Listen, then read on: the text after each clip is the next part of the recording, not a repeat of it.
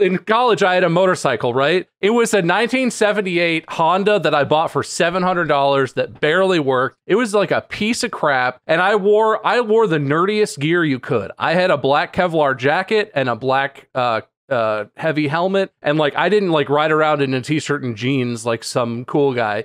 I wore full body armor every time I rode it, even if I was only going 10 minutes.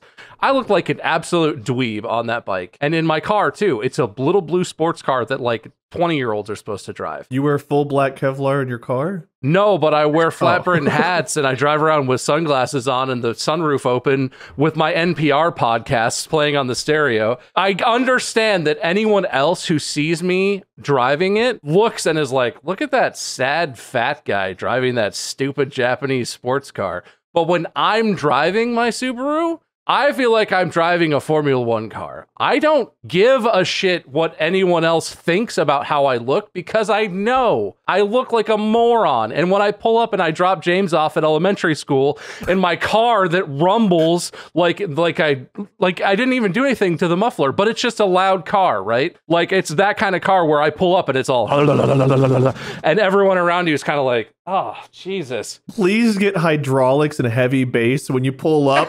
you have NPR like bassing Yeah. over you. But when I drive it, I feel cool. It makes me feel the way that I want to feel. And when I put the paint match fenders on that I spent $1,200 on for a part on my car that was not broken, it was perfectly fine. It's just a different color than the part that came on the car. Uh, There are people online in, in the community who are like, oh, that's a waste of money. It's stupid. It looks worse. I don't care. I did it because I think it looks better that way. And it makes me feel even cooler in my own head when I drive it. I put a carbon fiber knob on the stick shift, even though that doesn't mean anything and barely makes sense, because why does that need to be carbon fiber? And actually, it's a lighter weight knob, which is not what you want. You want a heavier knob because that makes the shifting smoother. I like the way it looks, and it feels cool because it means I get to touch carbon fiber when I drive my car. I understand that it's slow. I understand that it's bumpy and it's not comfortable. It's both slow and uncomfortable and pointless. But it makes me feel cool, god damn it. That's why I got the car. It's not even an expensive car. Like it's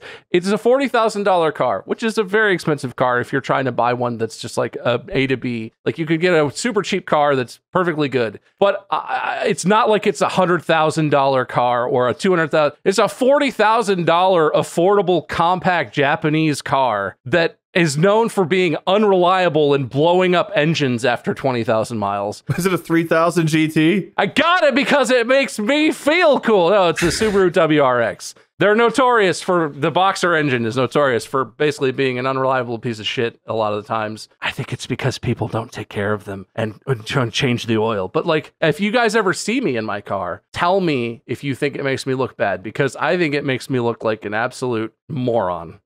but that's not why I got it and I don't care because I like the way it feels when I'm driving it.